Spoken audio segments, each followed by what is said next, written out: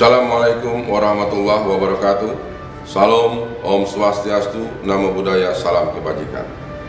Di kesempatan yang berbahagia ini, saya Irjen Pol Dr. Andesian Fitri Aliman SMH, Kapolda Kepulauan Riau beserta keluarga besar Polda Kepulauan Riau mengucapkan Selamat Hari Natal tahun 2023 dan selamat menyambut tahun baru 2024. Dengan semangat kerendahan hati, menyambut kelahiran Kristus melalui peran Polri Presisi, berintegritas, mengasihi, dan melayani guna mewujudkan pemilu damai. Wassalamualaikum warahmatullahi wabarakatuh. Salam, Om Santi Santi Santi.